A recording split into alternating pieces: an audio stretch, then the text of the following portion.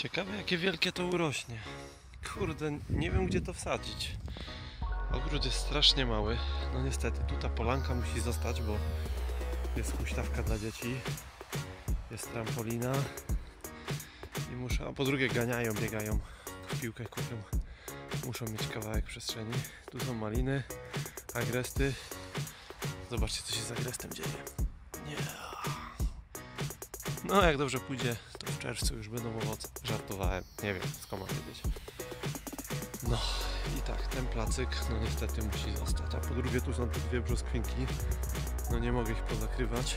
Wystarczy, że od zachodu jest żywopłot. Kurde, byłem dzisiaj w sklepie, nie kupiłem tego. Na kędzierzawość liści. I jak to bywa? Pelet nie ma. Tutaj w kopie Gunera. Chyba dobrze wymawiam. Tutaj. Zobaczymy. To taki krzaców fajny, wielki. No zobaczymy. Dobra, roślinka wkopana. To tak, ta brzydka ziemia to tak z zewnątrz, a tak naprawdę podsypałem to co kupiłem ziemię. Taki start życiowy miała troszkę lepszy.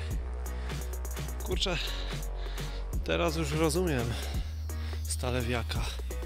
Obiecuje, że już nie pojedzie kupić ziemi, a mimo wszystko i tak przywozi. Pozdrawiam Sławek. Kupiłem 50 litrów ziemi. No i co to jest? To wystarczyło tylko na to, żeby przesadzić. Przesadzić naturkę. Przepraszam. Urmansję. Kurczę, no i tak jak mówiłem. Jak się pije, to się stoi, a nie robi. Zastanawiam się nad tym bambusem. Kurde, przetargałem go z Włoch. Nie mam pojęcia, co to jest za gatunek. No nie mam pojęcia. Ale się zastanawiam nad tym, żeby go wkopać obok tego bambusa od pana Piotra. Egzotyczne ogrody. No nie wiem,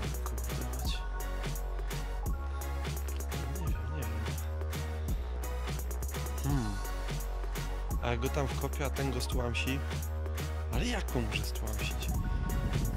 Zawsze tak mówią, nie wkopuj w cień, bo to... Kurde, nie wiem. Napiszcie mi, kurczę, mać pod filmem. Wkopasz go między nich, albo tu obok gdzieś? Czy zostawić jeszcze jednak do wiosny, aż będzie cieplej pod folią?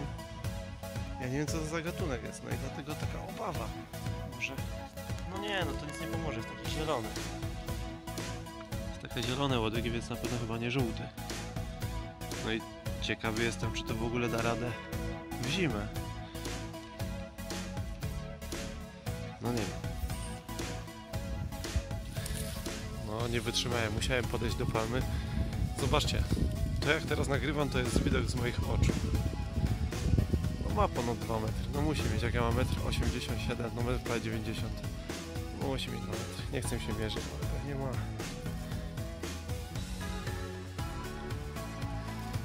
Każdy mówi, że ma sztywne liście, jak ty to robisz i tak dalej, i tak dalej. Pokażę wam coś. Tutaj od wschodu Wow, no nie? Ale tutaj od zachodu już nie jest tak pięknie. Proszę. No, ten wiatr, od za zachodni wiatr to potrafi zniszczyć dużo rzeczy. Narobić szkód. No także to nie jest tak, że sztywne liście, to normalny dach. Z lewej strony zniszczony, z prawej strony normalny. Musiałbym tu taką barierę na 5 metrów wybudować, to byłoby dobre. Żeby nie wiało. No. Kurde, może jakiś patyczek tu wbije, żeby ktoś nie wdepnął na to. Albo nie, nikt nie wyjdzie z domu bez mojej zgody. Patrzcie, ile takich fajnych kwiatuszków mi wychodzi. Nie mam pojęcia, jak to się nazywa. Zawsze miałem całą tą studnię dookoła, dookoła w tych kwiatkach. Kurde.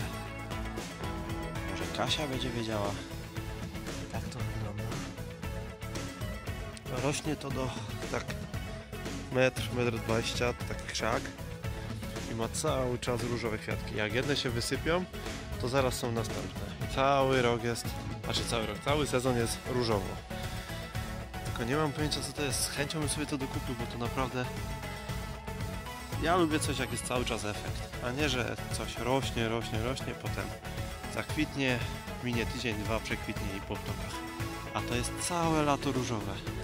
Nie wiem, jak znajdę jakieś zdjęcie, to wrzucę zdjęcie i może lepiej będzie, lepiej może uda się to zidentyfikować. Tak to wygląda z bliska.